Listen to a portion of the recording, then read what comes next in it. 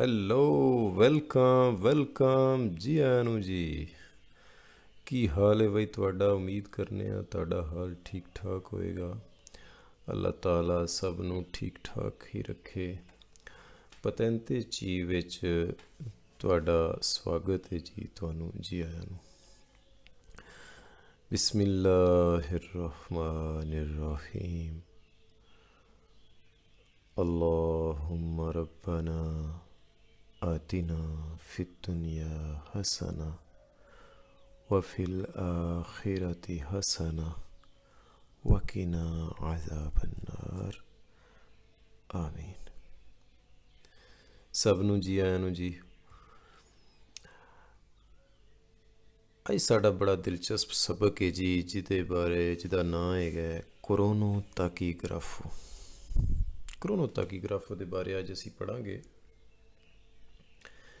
ਦੇਖੋ ਜੀ ਕਰੋਨੋਟਾਕੀਗ੍ਰਾਫੋ ਇੱਕ ਕੰਟਰੋਲ ਕਰਨ ਵਾਲੀ ਡਿਵਾਈਸ ਹੈ ਮਸ਼ੀਨ ਕਹਿ ਲਓ ਡਿਵਾਈਸ ਕਹਿ ਲਓ। ਇੱਕ ਚੈੱਕ ਕਰਨ ਵਾਲਾ ਸਿਸਟਮ ਉਹਨਾਂ ਨੇ ਬਣਾਇਆ ਹੈ। ਦੋ ਤਰ੍ਹਾਂ ਦਾ ਹੁੰਦਾ ਹੈ।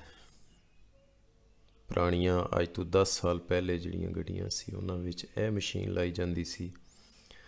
ਅੱਜ ਕੱਲ ਜਿਹੜੀਆਂ ਨਿਊ ਗੱਡੀਆਂ ਆ ਰਹੀਆਂ ਨੇ, ਤਕਰੀਬਨ 10 ਸਾਲ ਪੁਰਾਣੀਆਂ ਗੱਡੀਆਂ ਟਰੱਕਾਂ ਵਿੱਚ ਜਾਂ ਬੱਸਾਂ 'ਚ ਇਹ ਮਸ਼ੀਨ ਸੀ, ਚੈੱਕ ਕਰਨ ਵਾਲੀ ਡਿਵਾਈਸ ਤੇ ਹੁਣ ਇਹ ਆ ਰਹੀ ਏ। ਇਹਨਾਂ ਦਾ ਨਾਂ ਕੀ ਹੈ ਕੋਰੋਨੋ ਤਾਕੀਗ੍ਰਾਫੋ। ਕੋਰੋਨੋ ਤਾਕੀਗ੍ਰਾਫੋ। ਇਹਨੂੰ ਐਨਾਲੋਜੀਕੋ ਕਹਿ ਲਓ। ਐਨਾਲੋਜੀਕੋ ਜਿਸ ਤਰ੍ਹਾਂ ਕਿ ਸੂਈਆਂ ਵਾਲੀ ਹੋਗੀ ਇਸ ਤਰ੍ਹਾਂ ਡਿਵਾਈਸ ਜੀ, ਮਤਲਬ ਜਿਸ ਤਰ੍ਹਾਂ ਤੁਸੀਂ ਫੋਟੋ ਦੇਖ ਰਹੇ ਹੋ, ਜਿਵੇਂ ਕਲੌਕ ਹੁੰਦੇ ਨੇ।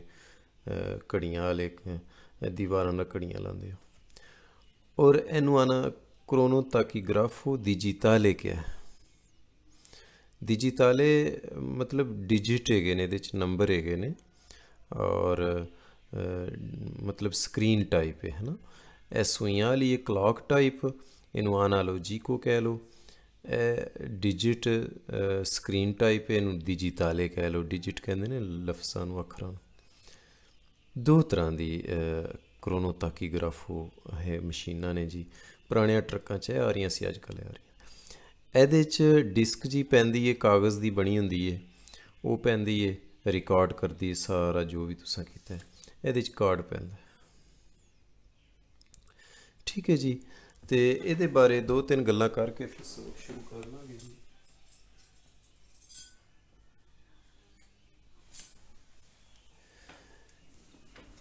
ਇੱਕ ਤੇ ਗੱਲ ਇਹ ਕਰ ਲਈਏ ਕਿ ਇਹਦਾ ਮਕਸਦ ਕੀ ਹੈ ਇਹ ਕਿਉਂ ਲਾਈ ਜਾਂਦੀ ਹੈ ਪਹਿਲਾ ਸਵਾਲ। ਦੂਸਰਾ ਕਿ ਕਿੰਨਾ ਗੱਡੀਆਂ ਚਲਾਈ ਜਾਂਦੀ ਹੈ ਦੋ ਕੁ ਸਵਾਲ ਹੱਲ ਕਰਾਂਗੇ ਤੇ ਸਾਨੂੰ ਸਮਝ ਆ ਜਾਏਗੀ। ਗੱਡੀਆਂ ਕਿਹੜੀਆਂ ਚ ਲੱਗਦੀ ਹੈ ਜੀ? ਪਹਿਲਾਂ ਤੇ ਇਹ ਗੱਲ ਚਲੋ ਕਰ ਲੈਨੇ ਆ ਇਹ ਦੋ ਗੱਡੀਆਂ 'ਚ ਜ਼ਿਆਦਾਤਰ ਲੱਗਣੀ ਹੈ ਜਿਹੜੇ ਟਰੱਕ ਨੇ ਸੁਪੀਰੀਅਰ 3.5 ਟਨ ਤੋਂ ਉੱਪਰ ਉੱਪਰ ਨੇ, ਉਹਨਾਂ ਟਰੱਕਾਂ 'ਚ ਲੱਗਣੀ ਹੈ ਔਰ ਜਿਹੜੀਆਂ ਬੱਸਾਂ ਨੇ 9 ਤੋਂ ਜ਼ਿਆਦਾ ਬੰਦੇ ਬਿਠਾਉਂਦੀਆਂ ਨੇ, ਡਰਾਈਵਰ ਸ਼ਾਮਿਲ ਕਰਕੇ ਉਹਨਾਂ ਬੱਸਾਂ 'ਚ ਲੱਗਣੀ ਹੈ ਦੋ ਗੱਡੀਆਂ ਵਿੱਚ ਕ੍ਰੋਨੋ ਤਾਕੀਗ੍ਰਾਫੋ ਉਹ ਮਸ਼ੀਨ ਲੱਗਣੀ। ਕਿਹੜੀਆਂ ਗੱਡੀਆਂ 'ਚ ਨਹੀਂ ਲੱਗਣੀ? ਉਹ ਵੀ ਗੱਡੀਆਂ ਦੇਖ ਲੈਂਦੇ ਆ ਜੀ। ਇਹਨਾਂ 'ਚ ਨਹੀਂ ਲੱਗਣੀ ਜੀ। ਇਹ ਕੌਣ ਹੈ ਵਿਜੀਲੀ ਦਿਲ ਫੋਕ ਅੱਗ ਬੁਝਾਉਣ ਵਾਲੀ ਗੱਡੀ, ਇਹਨਾਂ 'ਚ ਕੋਈ ਜ਼ਰੂਰਤ ਨਹੀਂ। ਭਾਵੇਂ ਇਹਦਾ ਭਾਰ 3.5 ਟਨ ਤੋਂ ਜ਼ਿਆਦਾ ਹੈ, ਭਾਵੇਂ ਘੱਟ ਇਹਦੇ 'ਚ ਨੋ ਐਂਬੂਲੈਂਸ ਨੋ ਆਰਮੀ ਦੀਆਂ ਗੱਡੀਆਂ ਨੇ ਨੋ ਪੁਲਿਸ ਦੀਆਂ ਗੱਡੀਆਂ ਹੋ ਗਈਆਂ ਨੋ ਇਹਨਾਂ 'ਚ ਵੀ ਨਹੀਂ। ਉਸ ਤੋਂ ਬਾਅਦ ਇਹ ਵੀ ਕਹੇਗਾ ਕਿ ਜਿਹੜੀਆਂ ਗੱਡੀਆਂ ਦੀ ਸਪੀਡ 40 ਕਿਲੋਮੀਟਰ ਤੋਂ ਘੱਟ ਹੈ, ਉਹਨਾਂ 'ਚ ਵੀ ਨੋ ਹਾਂ, ਤੁਸੀਂ ਅੱਗੇ ਪੜਿਆ ਕਿ ਅਗਰ 3.5 ਟਨ ਤੋਂ ਜ਼ਿਆਦਾ ਭਾਰ ਹੈ ਲੋਡ ਵਾਲੀ ਗੱਡੀ ਤੋਂ ਚਲਾ ਦਿਓ, ਨਹੀਂ। ਇਹ ਵੀ ਗੱਲ ਠੀਕ ਹੈ, ਲੇਕਿਨ ਨਾਲ ਇਹ ਵੀ ਗੱਲ ਐਡ ਕਰੋ ਕਿ ਅਗਰ ਗੱਡੀ ਦੀ ਸਪੀਡ 40 ਕਿਲੋਮੀਟਰ ਤੋਂ ਘੱਟ ਹੈ, ਫਿਰ ਉਹਦੇ 'ਚ ਨਹੀਂ ਲੱਗੇਗੀ। ਜ਼ਾਹਿਰ ਬਹੁਤ ਸਲੋ ਗੱਡੀ ਹੈ, ਇਹ ਗੱਡੀ ਹੋਗੀ ਮੈਂ ਲਿਖਿਆ ਮੇਨੋ ਦੀ 40 ਕਿਲੋਮੀਟਰ velocità no tachigrafo ਠੀਕ ਹੈ ਜੀ, ਤੇ ਇਹਨਾਂ ਗੱਡੀਆਂ ਵਿੱਚ ਵੀ ਨਹੀਂ ਲੱਗੇਗੀ, ਜਿਨ੍ਹਾਂ ਦੀ 40 ਤੋਂ ਸਪੀਡ ਘੱਟ ਹੈ, ਉਹਨਾਂ 'ਚ ਵੀ ਨਹੀਂ ਲੱਗੇਗੀ। ਔਰ ਲੱਗੇਗੀ ਕਿਦੇ ਤੇ? ਬੱਸਾਂ ਤੇ, ਜਿਹੜੀਆਂ 9 ਤੋਂ ਜ਼ਿਆਦਾ ਬੰਦੇ ਬਿਠਾਉਂਦੀਆਂ ਨੇ, ਟਰੱਕਾਂ ਤੇ, ਜਿਨ੍ਹਾਂ ਦਾ ਭਾਰ 3.5 ਟਨ ਤੋਂ ਜ਼ਿਆਦਾ। ਹੈ ਔਰ ਇਹ ਵੀ ਕਹੇਗਾ ਕਿ ਅਗਰ ਬੱਸ 50 ਕਿਲੋਮੀਟਰ ਦੇ ਵਿੱਚ ਵਿੱਚ ਹੀ ਉਹਦਾ ਸਫ਼ਰ ਹੈਗਾ, ਜ਼ੀਰੋ ਹੈ ਉਹਦਾ ਉਹਦਾ ਰੂਟ ਹੈ 50 ਕਿਲੋਮੀਟਰ ਦੇ ਵਿੱਚ ਵਿੱਚ, ਤੇ ਫਿਰ ਨੋ। ਐਵੇਂ ਲਿਖਿਆ, ਸਿਟੀ ਬੱਸ ਹੈ ਯਾਨੀ ਇਨਫੀਰੀਅਰ ਹੈ 50 ਕਿਲੋਮੀਟਰ। 50 ਮੀਟਰ ਕਿਲੋਮੀਟਰ ਤੋਂ ਘੱਟ ਸਫ਼ਰ ਹੈ ਸਿਟੀ ਬੱਸ ਜਿਵੇਂ ਹੁੰਦੀ ਹੈ ਤੇ ਨੋ ਤਾਕੀਗ੍ਰਾਫ ਔਰ ਇੱਕ ਬੱਸ ਹੈ ਉਹ 50 ਕਿਲੋਮੀਟਰ ਤੋਂ ਜ਼ਿਆਦਾ ਉਹਦਾ ਰੂਟ ਹੈ ਹਾਂਜੀ, ਬ੍ਰੇਸ਼ੀਆ ਤੋਂ ਚਲਦੀ ਹੈ ਨਾਪੋਲੀ ਜਾਂਦੀ ਹੈ ਫਿਰ ਇਹਨੂੰ ਤਾਕੀਗ੍ਰਾਫ ਸੀ। ਪਤਾ ਇਹ ਲੱਗਾ ਕਿ ਬੱਸਾਂ ਵੀ ਸਾਰੀਆਂ ਤੇ ਨਹੀਂ 50 ਕਿਲੋਮੀਟਰ ਤੋਂ ਘੱਟ ਸਫ਼ਰ ਹੈ ਤੇ ਨੋ 50 ਕਿਲੋਮੀਟਰ ਤੋਂ ਜ਼ਿਆਦਾ ਇਹਦਾ ਰੂਟ ਹੈ ਤੇ ਸੀ। ਅਸੀਂ ਇਹ ਪੜਿਆ ਕਿ ਕਿਹੜੀਆਂ-ਕਿਹੜੀਆਂ ਗੱਡੀਆਂ ਤੇ ਲੱਗਦੀ। ਕਰੋਨੋ ਅਸੀਂ ਇਸ ਡਿਵਾਈਸ ਦੇ ਬਾਰੇ ਪੜਨ ਲੱਗੇ ਹਾਂ ਡਿਵਾਈਸ ਕਹਿ ਲਓ ਮਸ਼ੀਨ ਕਹਿ ਲਓ, ਇੱਕ ਚੈੱਕ ਕਰਨ ਵਾਲਾ ਸਿਸਟਮ ਹੈਗਾ ਇਹਦੇ ਬਾਰੇ ਪੜਨ ਲੱਗੇ ਹਾਂ ਤੇ ਕਿਹੜੀਆਂ ਗੱਡੀਆਂ 'ਚ ਲੱਗਦਾ ਸੀ ਇਹ ਵੀ ਦੇਖਿਆ। ਹੁਣ ਅਸੀਂ ਇਹ ਗੱਲ ਕਰਨੇ ਆ ਕਿ ਇਹਦਾ ਮਕਸਦ ਕੀ ਹੈ, ਇਹਦਾ ਫਾਇਦਾ ਕੀ ਹੈ, ਕਿਉਂ ਲਾਉਂਦੇ ਨੇ? ਇਹ ਸਾਨੂੰ ਪੜਨਾ ਪੈ ਗਿਆ। ਪਰ ਇਹਦਾ ਫਾਇਦਾ ਕੀ ਹੈ ਕਿਉਂ ਪੂਰਾ ਚੈਪਟਰ ਇਹਨੇ ਬਣਾਇਆ ਜੀ ਇਸ ਟੌਪਿਕ ਤੇ, ਇਹਦੇ ਤੇ ਕਰੋਨੋਤਾਕੀਗਰਾਫੋ ਦੇ ਟੌਪਿਕ ਤੇ? ਇਹਦਾ ਫਾਇਦਾ ਇਹ ਵੀ ਕਿ ਇਹ ਡਰਾਈਵਰ ਨੂੰ ਕੰਟਰੋਲ ਕਰਦਾ ਹੈ ਕਿ ਡਰਾਈਵਰ ਕੀ ਕਰ ਰਿਹਾ ਹੈ। ਹੁਣ ਇਹਦੇ ਵਿੱਚ ਜਿਹੜਾ ਹੈਗਾ ਘੜੀ ਟਾਈਪ ਐਨਾਲੋਜਿਕ ਇਹਦਾ ਨਾਂ ਰੱਖਿਆ ਨਾ, ਇਹਦੇ ਚ ਡਿਸਕ ਪੈਂਦੀ ਹੈ, ਕਾਗਜ਼ ਵਾਲੀ ਬਣੀ। ਤੇ ਇਹ ਕੀ ਕਰਦਾ ਜੀ? ਕੀ ਚੈੱਕ ਕਰਦਾ ਆਓ ਥੋੜਾ ਇਹਦੇ ਤੇ ਗੱਲ ਕਰ ਲਈਏ।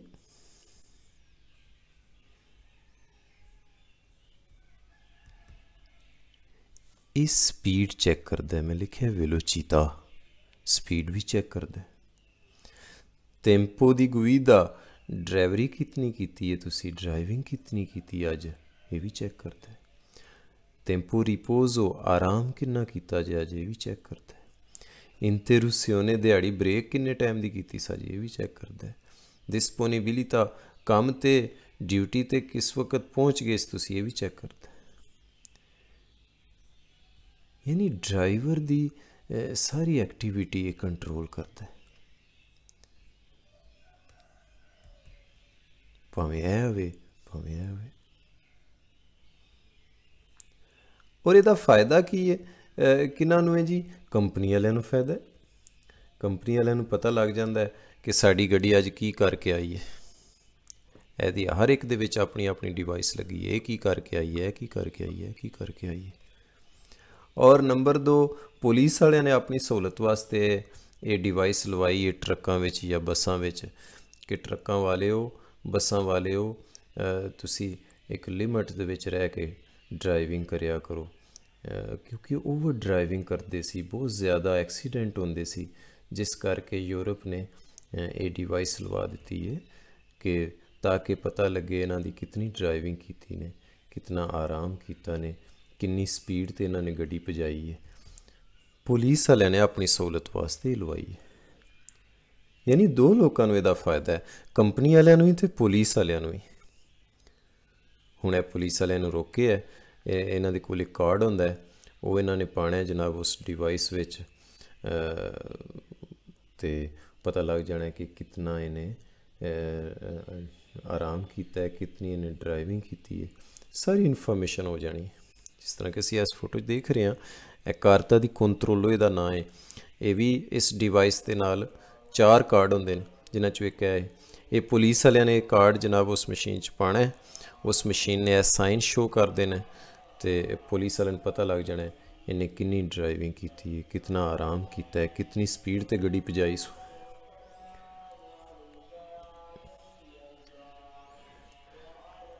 ਅਸੀਂ ਪੜ ਲਿਆ ਹੈ ਕਿ ਡਿਵਾਈਸ ਦੇ ਬਾਰੇ ਅਸੀਂ ਸਮਝਿਆ ਕਿ ਡਿਵਾਈਸ ਕਿਸ ਤਰ੍ਹਾਂ ਦੀ ਹੁੰਦੀ ਹੈ, ਦੋ ਕਿਸਮ ਦੀ। ਡਿਵਾਈਸ ਕਰਦੀ ਕੀ ਹੈ? ਇਹ ਡਰਾਈਵਿੰਗ ਡਰਾਈਵਰ ਦੀ ਐਕਟੀਵਿਟੀ ਤੇ ਗੱਡੀ ਦੀ ਇਨਫੋਰਮੇਸ਼ਨ ਕੰਟਰੋਲ ਕਰਦੀ ਹੈ ਰਿਕਾਰਡ ਕਰਦੀ ਹੈ। ਇਹਦਾ ਕਿੰਨੂੰ ਫਾਇਦਾ ਜੀ? ਮਾਲਕਾਂ ਨੂੰ ਵੀ ਫਾਇਦਾ ਹੈ ਤੇ ਪੁਲਿਸ ਨੂੰ ਵੀ ਇਨਫੋਰਮੇਸ਼ਨ ਮਿਲ ਜਾਂਦੀ